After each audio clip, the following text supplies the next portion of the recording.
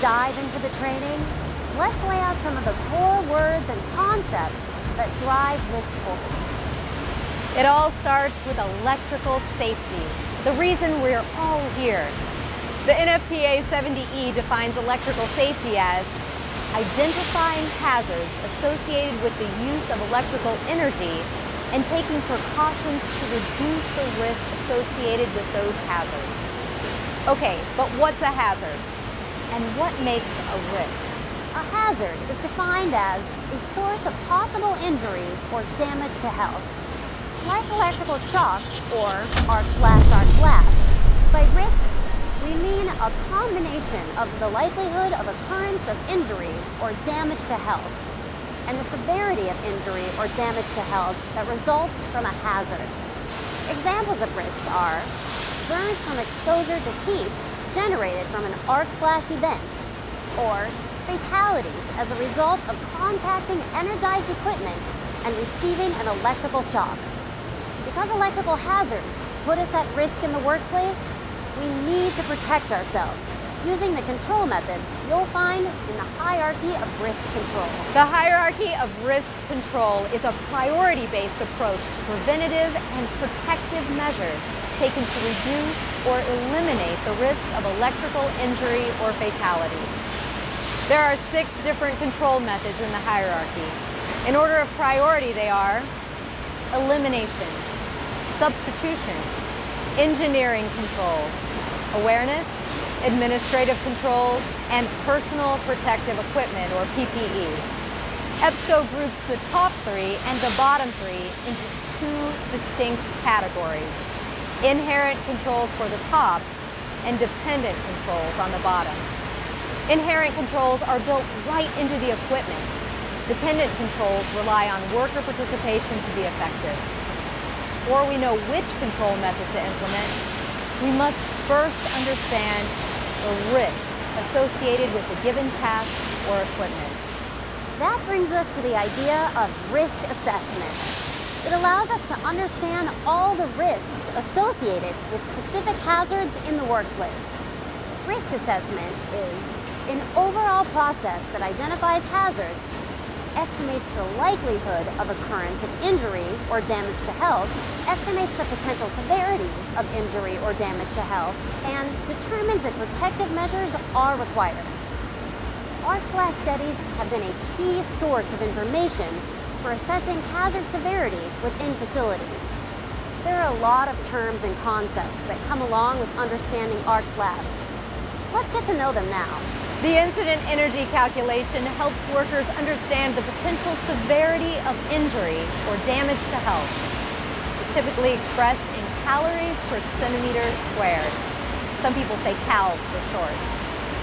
Incident energy calculations allow us to effectively select the proper additional protective measures and suit up in the correct PPE for the task. Incident energy itself is simply a calculation of the amount of heat caused by an arc flash. Technically speaking, it's the amount of thermal energy impressed on a surface a certain distance from the source generated during an electrical arc event. Keep in mind that arc flash study alone won't estimate the likelihood of an event occurring in each specific case. What it does do is specify working boundaries. There are three you'll need to know. The arc flash boundary, the limited approach boundary, and the restricted approach boundary.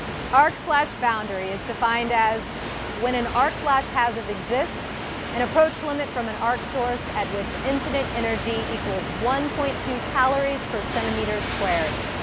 Anyone within the distance where there is an arc flash risk must be wearing the specified PPE. The other two boundaries are independent of arc flash boundary. The aim of both is to reduce the risk of electrical shock. The restricted approach boundary is the tighter boundary, expressed as an approach limit at a distance from an exposed energized electrical conductor or circuit part within which there is an increased likelihood of electrical shock due to electrical arc over-combined with inadvertent movement. Only qualified personnel are allowed to cross the restricted approach boundary. they need to be wearing the same properly rated electrical shock protection they would be if working directly on the equipment. The limited approach boundary is the wider, defined as an approach limit at a distance from an exposed, energized electrical conductor or circuit part, within which a shock hazard exists. This boundary should never be crossed by an unqualified person, unless advised of the hazards and escorted by a presently qualified individual. When you're setting up barricades, remember that the arc flash boundary is independent of the approach boundaries. Make sure your barricades meet or exceed the greatest distance listed between the arc flash and the limited approach boundaries. What counts as a barricade? A physical obstruction, such as tapes, cones, or A-frame type wood or metal structures intended to provide a warning and to limit access. Be sure to use barricades whenever an electrical hazard exists in order to warn and restrict accidental contact of unqualified and qualified individuals. Okay, you've got boundaries, but who exactly are these qualified individuals we've been talking about?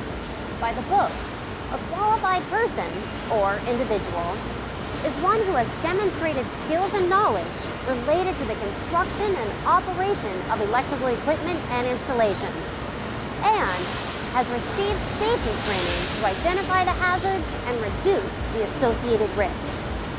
Working through that definition, you'll see three components that make a qualified person. The first is the electrical safety training your team takes at least every three years. This trains you to identify the hazards and risks associated with electricity and teaches protective measures to avoid those hazards.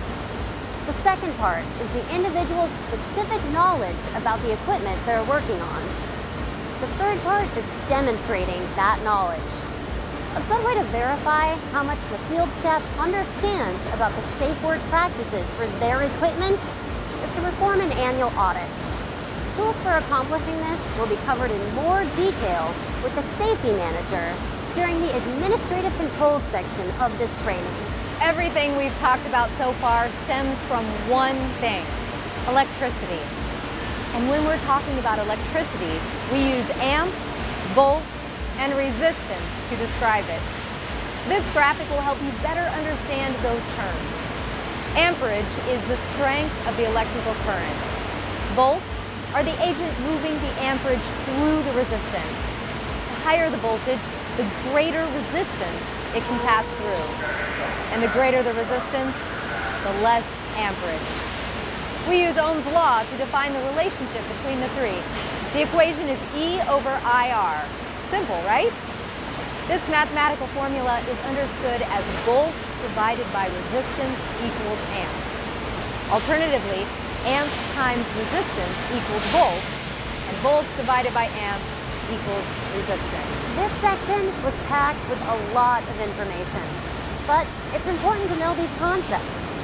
Take some time to study and review the information and graphic on this page in your handbook.